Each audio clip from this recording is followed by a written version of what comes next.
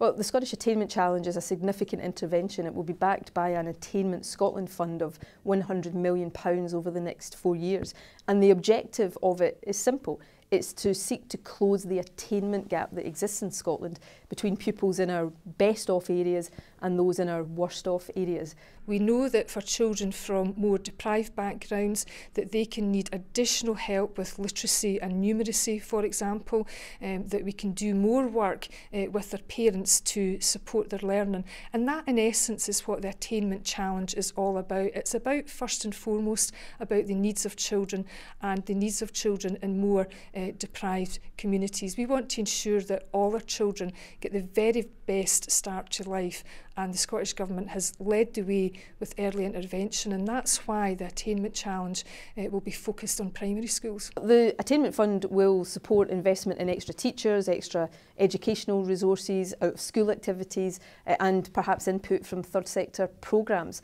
Uh, all of the evidence says that Eh, attainment initiatives like this one need to be backed by resources to make a difference. Uh, but the importance of this really can't be overstated. Uh, Scotland pioneered education for all. We've got a good education system, but as long as some children are being left behind and not getting the chance to perform as well as they have the ability to, then we've got work to do. I, I passionately believe in a Scotland and in an education system that gives every young person, no matter their family background, no matter the size of their parents' bank balance, the same chance to succeed and to fulfil their potential.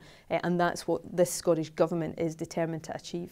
There are things to be learnt from the rest of the UK. There are lessons to be learnt uh, from across the world. But we've also started some very innovative practice in Scotland with, for example, the Reason Attainment for All programme, which was launched last year. And that's already in place in 150 schools uh, across Scotland. And what the Attainment Challenge will now do will give additional impetus and, crucially, additional resources over a long period of time to make sure that that we get that step change uh, and we ensure that we're getting more resources to the children that are most in need.